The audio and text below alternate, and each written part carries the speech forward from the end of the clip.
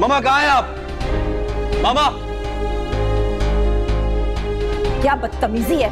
क्यों चीख रहे हो? क्योंकि आपने मुझे मजबूर किया है कि मैं आपके सामने चीखूं और चिल्लाऊं। मोमिना कहाँ है? क्या बकवास कर रहे हो? मुमना यहाँ क्यों होगी? आप अच्छी तरह जानती हैं कि मैं आपसे क्या पूछ रहा हूँ। कहाँ छुपा के रखा है उसे? अपनी जबान को लगाम दो आराम। बकवास पे बकवास किए चले जा रहे हो? मुझे क्या पता कि वो कहाँ है? तुम्हारी बीवी है तुम्हें पता होना चाहिए कि वो कहाँ है। और अगर तुम्हें नहीं पता तो उसको बताकर जाना चाहिए कि मामा आपने किडनैप कराया है। अब आप सच सच बताएँ कि मोमिना कहाँ है इस वक्त? Up!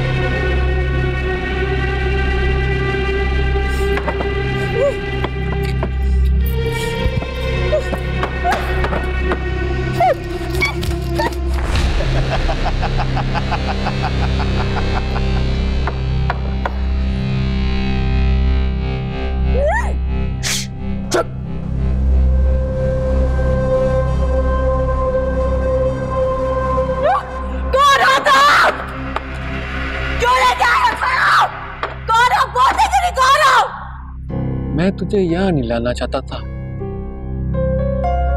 तेरी बहन के साथ दिल लगी करना चाहता था मैं। दोनों काम हो जाते मेरे लेकिन हुआ कुछ यूँ कि तुम्हारी तुम्हारी हिम्मत कैसे हुई मेरे सामने आने की हाँ? हिम्मत कैसे हुई?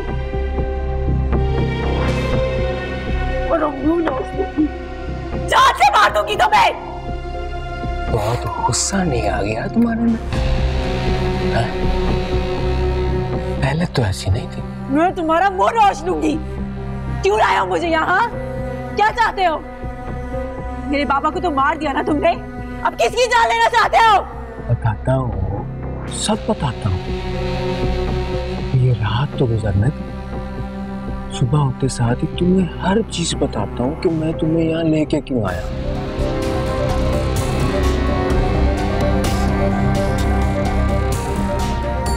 ये रात तो हम दोनों एक साथ गुजार सकते हैं।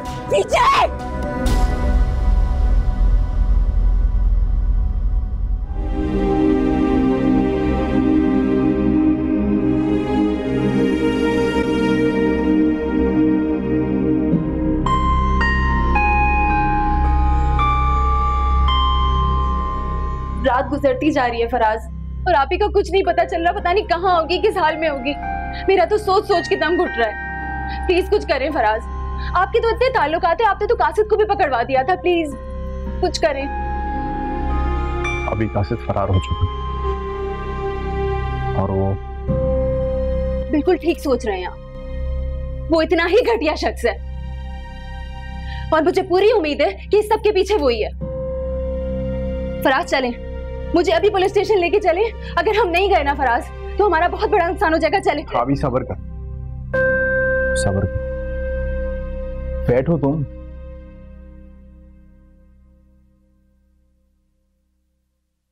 अभी हमारा कोई नुकसान नहीं ट्रस्ट में अगर ये सब कुछ कासिद ने किया है तो तुम देखना। मैं क्या करता हूँ उसके साथ। लेकिन घर बैठने से तो कुछ नहीं होगा ना? पर अभी इस वक्त मैं तुम्हें कहीं नहीं लेके जा सकता। एक मेरी बात मानो तुम। तुम चेंज करो थोड़ा रेस्ट करो। बल्कि सो जाओ थोड़ी देर। अगर आप ही को कुछ हुआ ना तो मैं मर जाऊँगी। आप ही को कुछ नहीं होगा। मुझ पर ट्रस्ट किया है ना तुमने? तो फ़िक्र मत करो।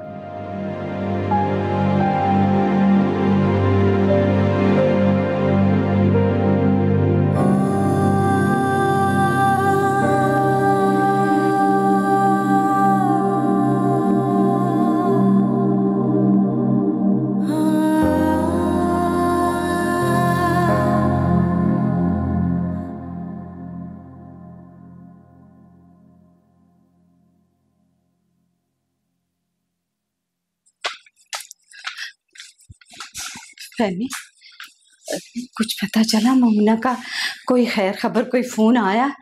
या अल्लाह रहम करे, कैसी अंधेर नगरी है? कोई कहने वाला नहीं, कोई सुनने वाला नहीं। मेरा तो दिल डूबा जा रहा है फहमी जैसे जैसे रात गुजर रही है, पता नहीं किसकी दुश्मनी थी उस बेचारी बच्ची के साथ। पता नहीं। मुझे तो ऐसा लगता है जैसे कासिद ही उठा के ले गया उसको। तुम्हारा भांजा है? उसने ये सब क्यों किया? पहले बाप को मार दिया। अब वो बच्ची की जान लेना चाहता है। पता नहीं क्या करेगा और क्यों करेगा। लेकिन यकीन करो, सामने आ जाए ना एक बार तो अपने ही हाथों से जान से मार दूँ उस कमीने को। चल अच्छा चल, बाहर आ जा, बाहर बैठ के बात करते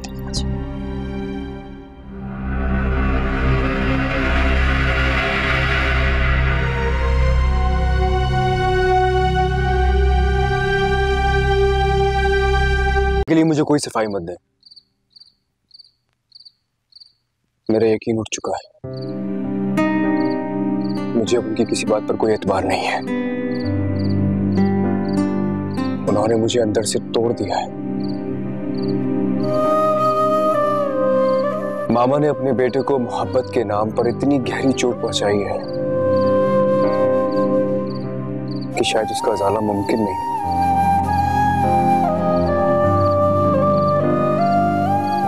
ये कैसी माँ है पापा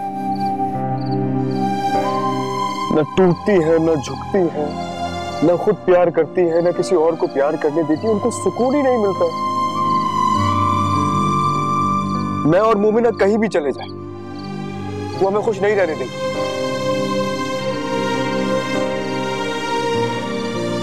क्या उनकी नज़र नहीं आता कि मोमिना मोमिना मेरी इज़्ज़त है। मेरी खुशी है। मेरी ज़िंदगी है। वो ऐसा कुछ नहीं है बेटा जैसा तुम सोच रहे हो। तुम्हारी माँ तुम्हारी मोहब्बत में अपनी जात को तो नुकसान पहुँचा सकती है। लेकिन मोमना के साथ ऐसी ज्यादती कभी नहीं कर सकती। ठीक है कि वो आज तक अपने आप को एक अच्छी माँ साबित नहीं कर सकी, लेकिन औरत होने के नाते वो इतनी बुरी नहीं है।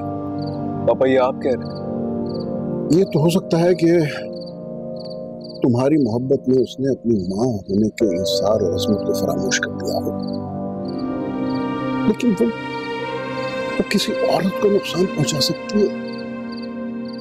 ये मैं नहीं मान सकता बेटा।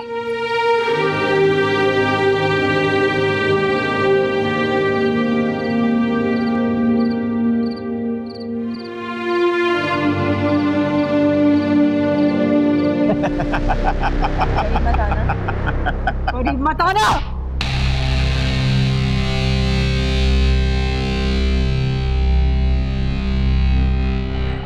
बहुत गुस्सा आ गया है ना तुम्हें